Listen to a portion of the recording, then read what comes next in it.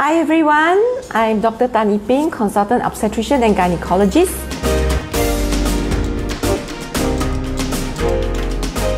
So you have two ways of solving the problem. One is we say like fever take Panadol.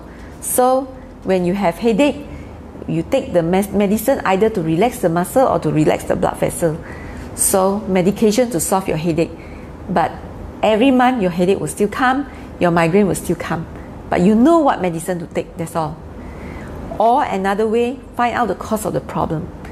Find out to see if it's uh, endometriosis.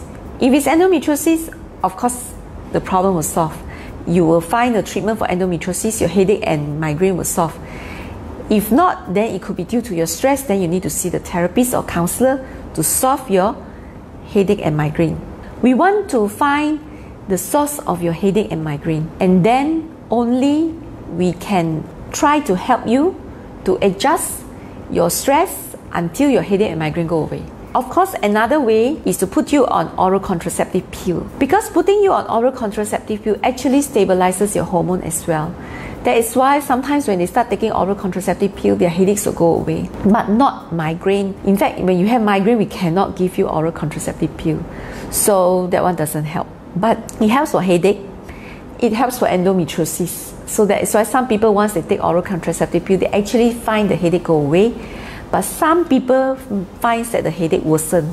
So the headache worsen could be due to it's a blood vessel problem. But why the blood vessel give you the headache? Still, you have to go back to whether it's stress related or endometriosis related.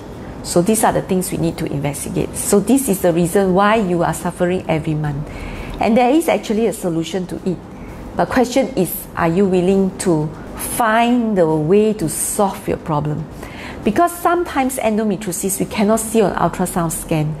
Although now the latest IDEA trial has come up with a way to scan for endometriosis, but it doesn't pick up 100% still. It, it only picks up advanced endometriosis because we have advanced endometriosis that still cannot see in normal ultrasound, then we can use this special ideal trial scan to do it.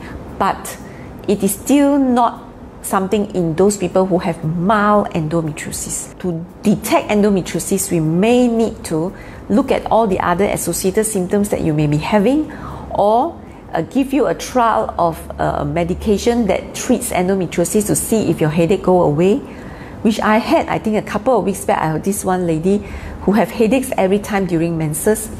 So I give her three months of Visanne to treat endometriosis.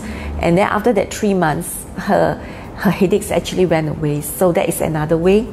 If you want to solve your problem, I know many of you today actually have headache and migraine during menses.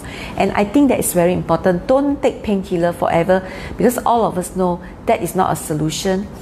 And uh, that is also comes with certain side effects. So thank you very much and please subscribe to my YouTube channel, okay? And also click the notification button. Bye bye.